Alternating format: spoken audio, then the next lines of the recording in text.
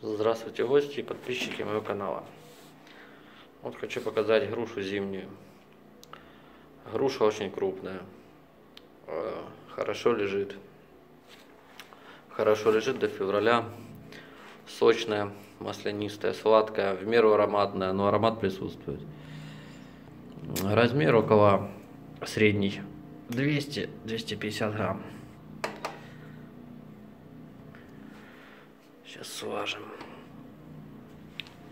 Вот а самые крупные, по 400 грамм. Такие вот они красивые в руке на вид.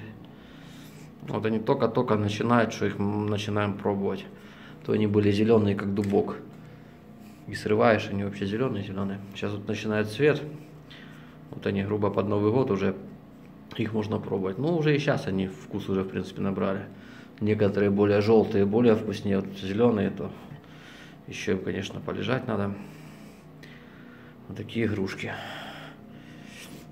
Сорт, как сорт, я не знаю, как он называется. Он мне достался от бабушек, от дедушек.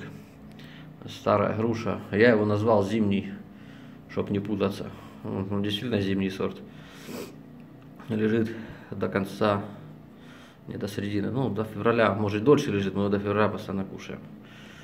Я его не, не могу проверить, как он лежит. Потому что груша старая, много не подоносит.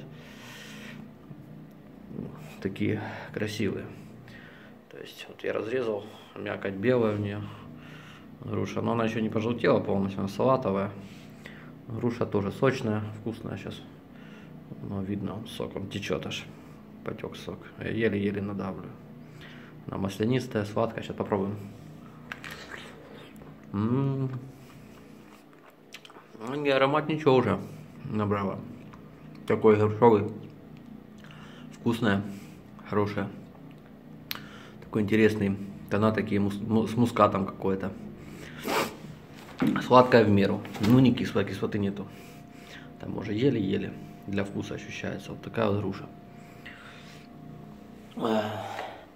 Что за сорт, может кто увидит, кто знает, как этот сорт называется правильно, то, пожалуйста, подскажите, потому что сорт хороший, сорт достойный, ну, название его не знаю. Называю зимняя. Ну, средний, средний размер вот у меня в ящике они лежат. Грамм по 200, по 250. Сейчас сважим. Особо не болеет. Хотя ну, я обрабатываю груши обязательно от подожорки, от грибковых там пару раз. Ну, чтоб вот 220 грамм. Чтоб она болела прям, я бы не сказал. Если саморынку обрабатываю, не обрабатываю, она болеет. И парша остается, и все. То ну это чистые, чистые груши. 300 грамм. Ну вот у нее размер вот есть помельче. Вот помельче.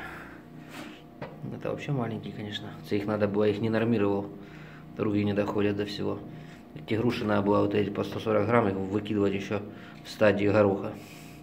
Оставлять, чтобы были 250 грамм.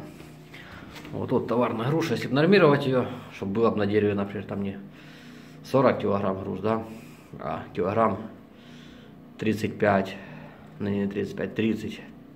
Они были бы до таких размеров достигали бы потому что все питание и шло им. Самые крупные оставляются груши.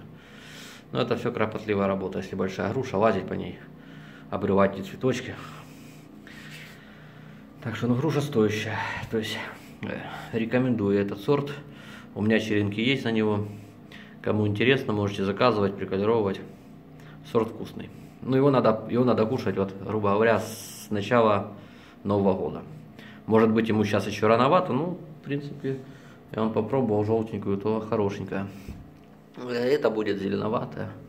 Это она более желтая уже такая. Она с розовым таким бочком. Пушети еще зеленоватый. А сразу с дерева она вообще невкусная. Она как трава туалетная бумага. Сразу с дерева. Вот она полежала с 25, с 20, с 20 числа. 20 ноября, 20, два месяца полежала и окрасилась, набрала вкус. Груша достойная. Кто знает, что это за сорт, Пожалуйста, отпишитесь мне, скажите название сорта точно. Потому что это сорт очень старый, он еще, же говорю, от прабабушек. Его сажали, то есть не, не из новых сортов, какой-то сорт не из новых. Всем спасибо за внимание. До свидания.